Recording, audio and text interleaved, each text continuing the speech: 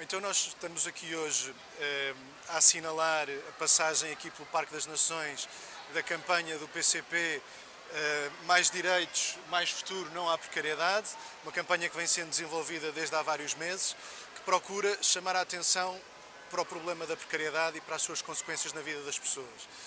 Foram mais de mil iniciativas desenvolvidas por todo o país, de norte a sul do país. Eh, estamos aqui hoje e aproveitamos esta ocasião para uh, vos podermos falar de um conjunto de questões que se colocam relativamente a este tema da precariedade em Lisboa e em particular na Câmara Municipal de Lisboa. O PCP, os vereadores do PCP apresentaram uma proposta que visa uh, identificar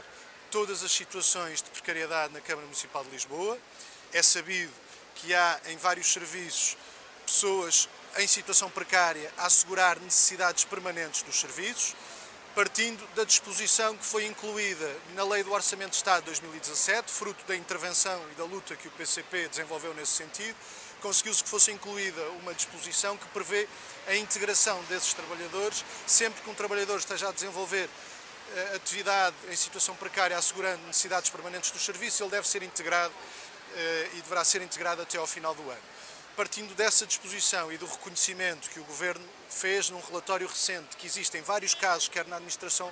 central do Estado, quer na administração local, o PCP, os vereadores do PCP na Câmara Municipal de Lisboa propuseram e vai ser uh, debatido na próxima reunião de Câmara na quinta-feira, uma proposta que prevê, ponto número um, uma identificação no prazo de 60 dias de todas as situações em que trabalhadores em situação precária se encontram a satisfazer necessidades permanentes dos serviços. Ponto número dois,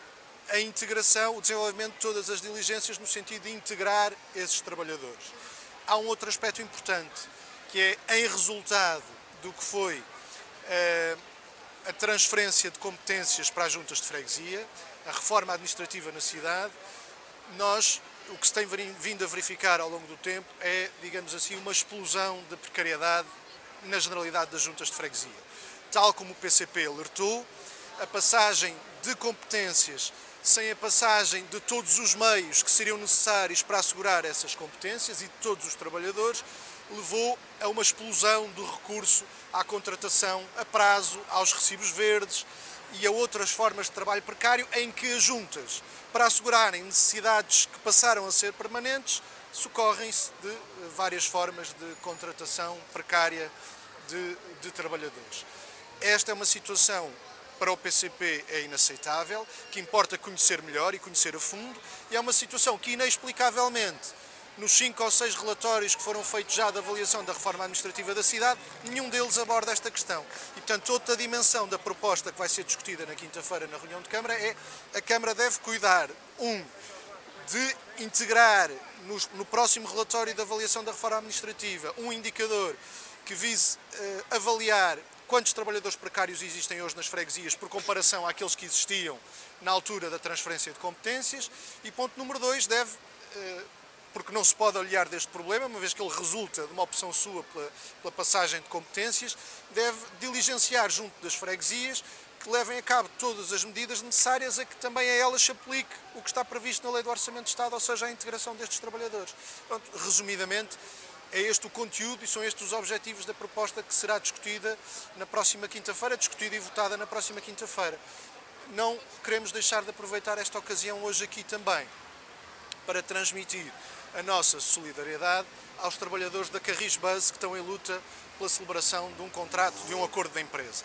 Sabemos que a Carris é hoje eh, uma responsabilidade da Câmara Municipal de Lisboa eh, e, portanto, também é da Câmara Municipal de Lisboa a responsabilidade pela situação em que se encontram todos os trabalhadores desta empresa e, em particular, os da Carris Bus, que não viram ainda uh, reconhecido o seu direito à contratação coletiva. Estes trabalhadores estão em luta há já muito tempo por a celebração de um acordo de empresa, pela integração, pela sua integração na Carris. Aquilo que é conhecido da proposta que foi já revelada a primeira proposta de acordo de empresa é uma proposta que as organizações dos trabalhadores consideraram inaceitáveis,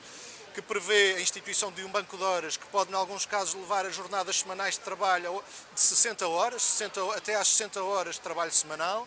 que prevê uma grelha salarial muito baixa e desadequada das funções e, de, e das qualificações eh, destes trabalhadores e que prevê a possibilidade de recurso à contratação a prazo como norma, não como exceção, mas como norma. São três aspectos inaceitáveis desta proposta de acordo da empresa.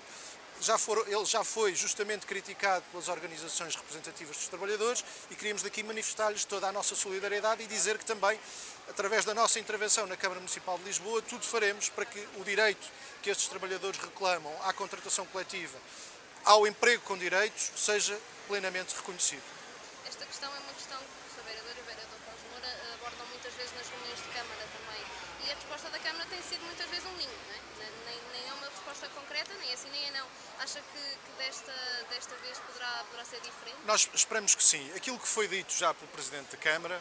é que em 2009, e isso é verdade, fruto do que foi também a pressão desenvolvida pelos trabalhadores e a luta que eles desenvolveram, houve a integração de um grande número de trabalhadores que se encontravam em situação precária, que foram integrados nos quadros da Câmara. Há dois problemas. Não foram todos. E o segundo problema, de então para cá, houve recurso a novas formas de precariedade, ou seja, há, entretanto, outros trabalhadores que estão em situação precária a assegurar necessidades permanentes dos serviços. Aquilo que nós dissemos, naturalmente temos conhecimento desses casos e estamos na disponibilidade de os divulgar, mas esperamos que seja a própria Câmara a fazer esse levantamento, no prazo que está previsto na proposta dos 60 dias, que faça esse levantamento e depois faça o que tem de fazer para acabar com essa situação e integrar esses trabalhadores